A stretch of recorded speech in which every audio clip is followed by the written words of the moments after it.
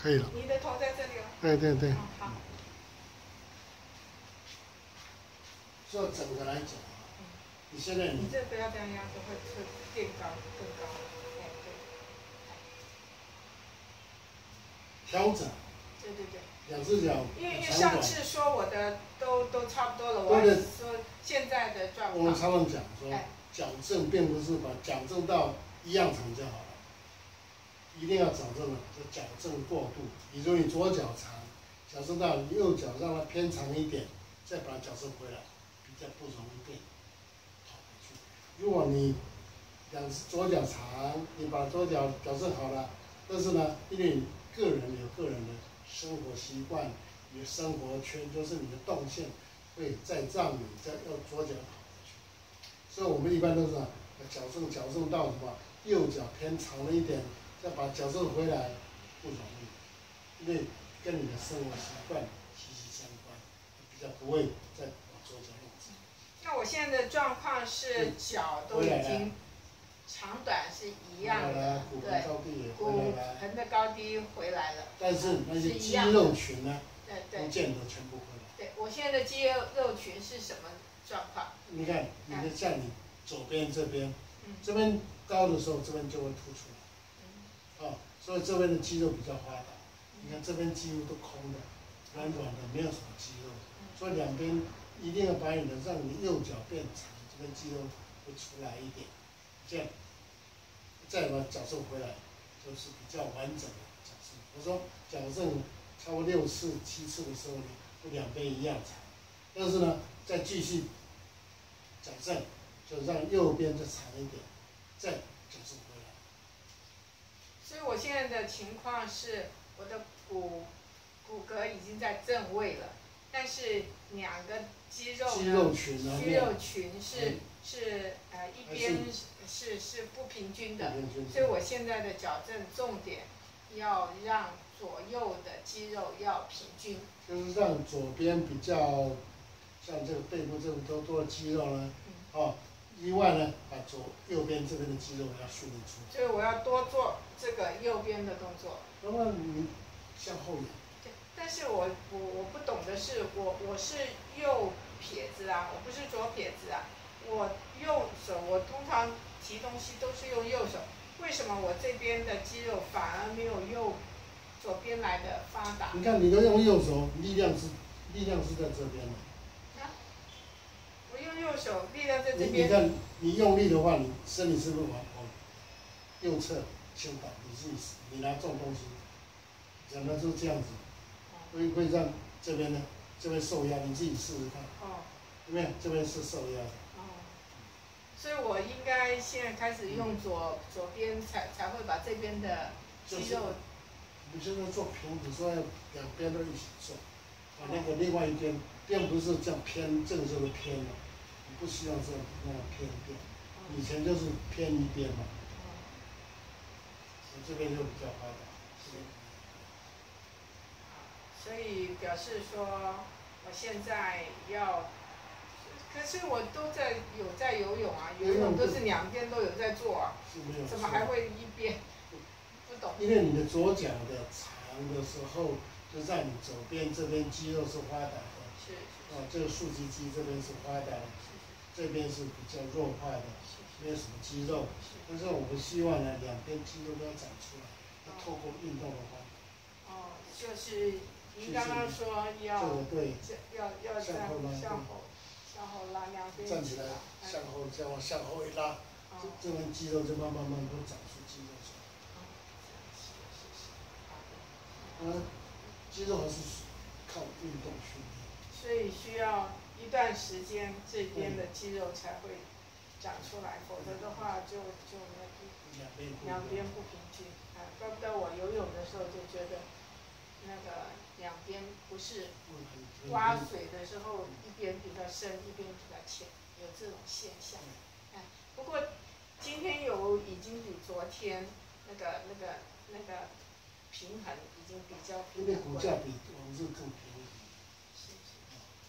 所以说，我们身体是有三个组：骨骼、肌肉、韧带。骨骼正一点的话，你身体就比较不会偏嘛。哦，那肌肉就是固定那个肌肉骨架。啊，所以你如果两边肌肉再偏均的话，那骨架更正。好的，那我我就继续努力了。继续努力，哎，老师也谢谢你，麻烦你了，嗯谢谢谢谢嗯。啊，还有就是这个东西，对，呃，发现呢，如果有绑着这个东西来做这些动作，就比较是呃那个身体是，这只要你绑了之后呢，你不要用自己的力量去把你的脚啊固定，是是是，所以你省掉很多力气。对。所以说我们会比较轻松所以。我们做运动的时候，还是要绑着脚对对，来做其他的尤其。调整的时候呢是，是是，我们都是希望呢，调你调整的时候一定要往脚绑着，啊，这样压膝也好，抱膝也好，你肌肉是什么松的，嗯硬邦邦的，你怎么练都练不起来。嗯，是是是，好，也不要让你自己肌肉僵化。对对对，哦，刚讲，像你看哦，你站着，你看脚外八的时候呢，屁股肌肉是绷紧的。你睡觉的时候，屁股肌肉都绷紧了，怎么会睡得好？睡眠品质不会好，就让你全身都松的，脚绑起来，屁股就会松了。啊，屁股松了，你就比较容易整个放松。你身体整个放松，你睡眠品质会好一点。所以为什么绑脚睡觉？对啊，我有很多人说绑架不自由，你说你不自由，你自由惯了，但是呢，你的骨架是歪的，得不偿失嘛。我最近发现，不知道是不是我最近啊游泳太累了还是怎么样，我最近晚上一次都没有起来，睡到一觉到天，天亮。哎，我天哪，非常棒，因为现在像我们我们的年纪啊，晚上有个叫夜尿的问题，是脚绑了之后呢，夜尿会死。为什么？第一个，你脚底热，是，哦，脚底热了，身体会不会发发热？就是那个脚一寒的话，就是冬天了，很多女性朋友一直想跑厕所，因为脚冷。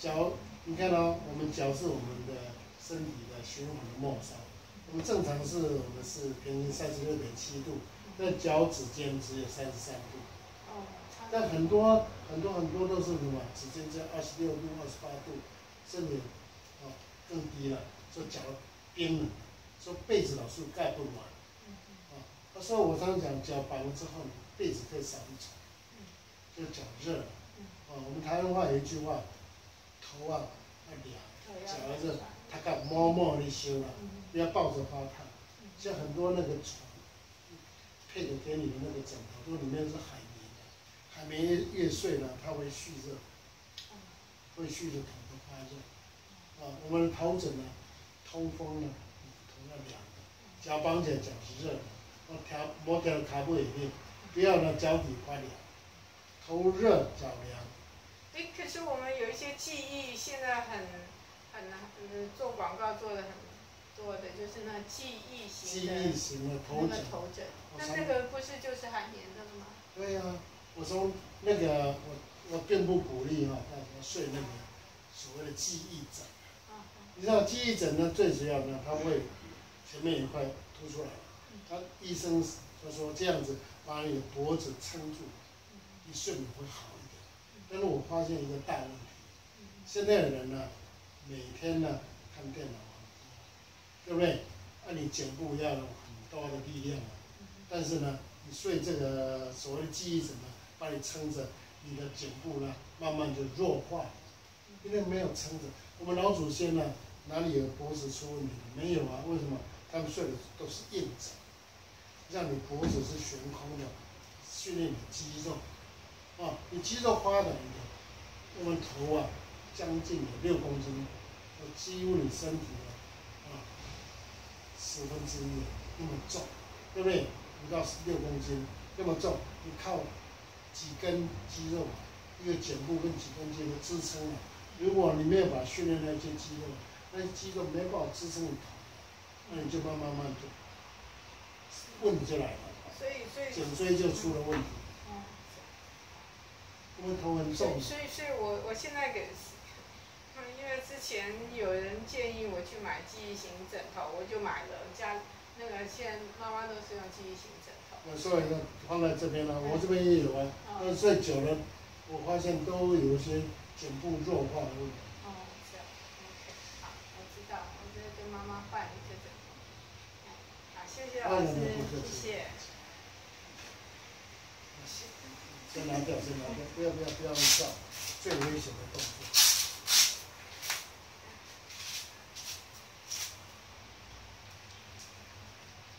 嗯录到吗？有了。